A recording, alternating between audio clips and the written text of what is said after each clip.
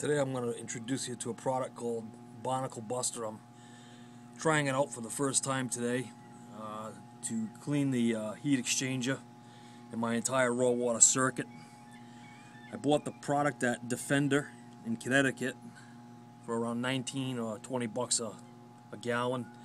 It's biodegradable. It seems to be pretty safe, non-toxic. I checked it out pretty good uh, compared it to a couple of the other ones, including Rydlyme and CLR and some of the other ones, and, and I just seemed that, that this one seemed to be the best for, for my application. So I'm going to share that with you today. Um, some of the things you're going to want to have on hand first before you start. Um, well, the way I did it, I figured I'd change out my impeller at the same time. So, so you can see some of the tools that I have here. I'm going to go over with you real quick. First, the ever most important thing, the uh, puller. You got to have that. I, I suggest it anyway. There's different ones you can buy, but this one here by Sea Dog is it's pretty reasonable. It's like 50 bucks.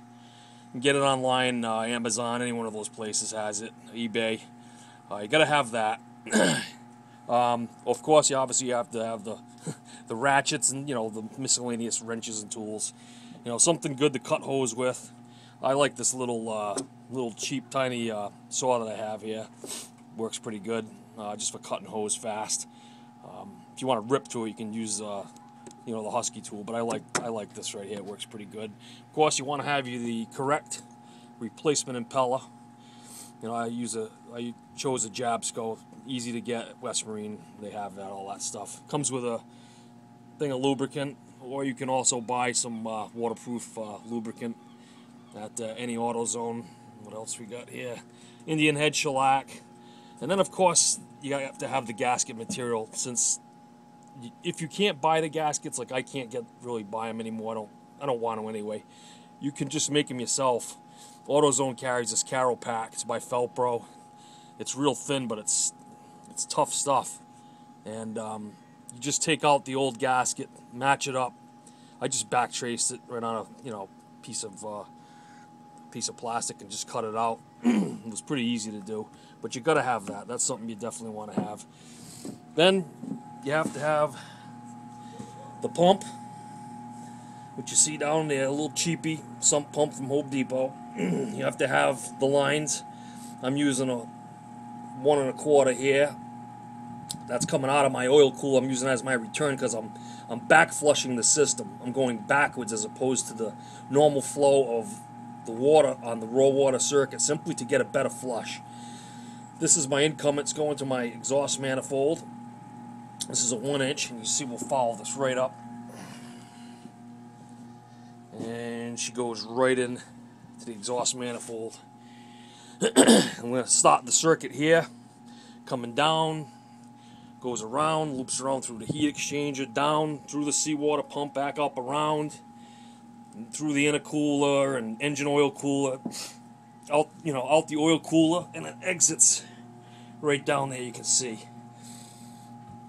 It's kind of hard to film and and talk, but I'm trying to do the best I can with the pictures. Anyway, you have to remove the impeller first, and that's I can't even show that to you because it's buried way down in the back.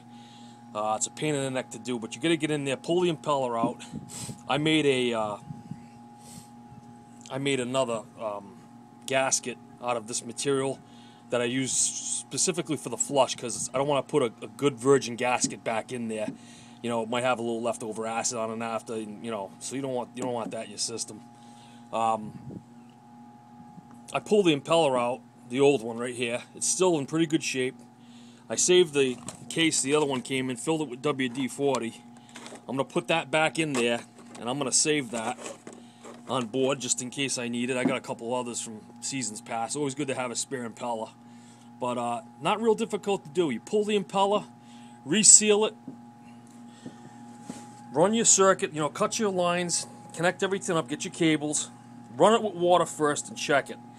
Um, I had a couple of leaks. I had, you know, down by the impeller housing. The first time I put the gasket on, it didn't work too good, so I had to recut another one, put it back in there, and and uh, that that seemed to work pretty good after that. but uh, you know, you set your circuit up, run the water through, check it. If it's good, empty the water out, dump the solution in, and man, you're good to go. And I can't tell you how filthy my heat exchange is. I can't, I can't even get over it.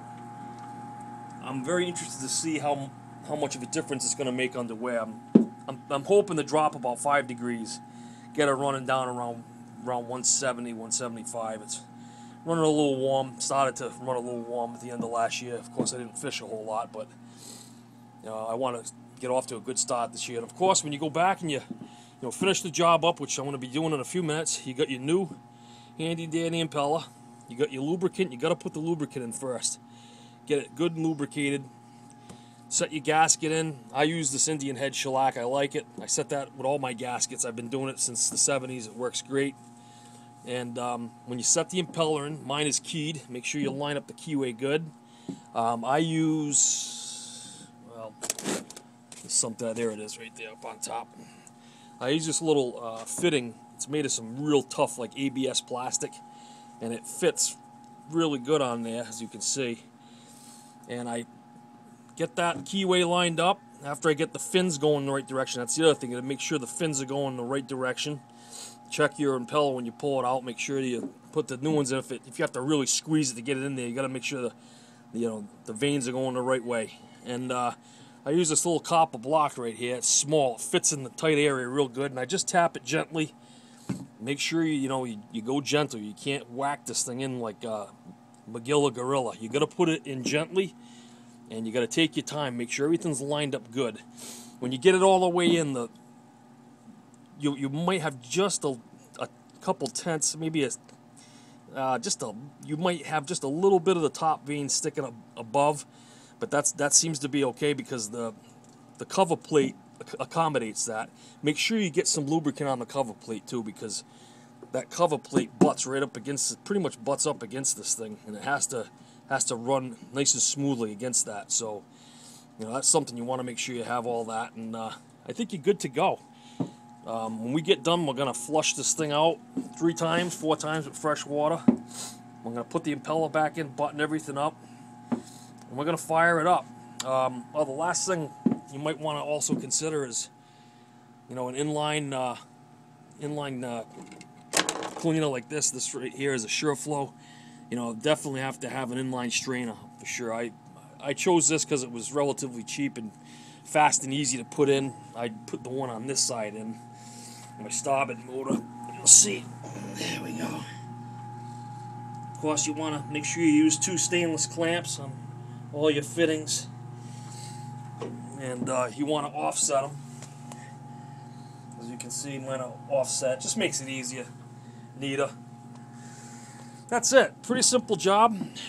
I'll uh, report the results when I get them. Barnacle Buster. This is the fishing vessel Codzilla. Out.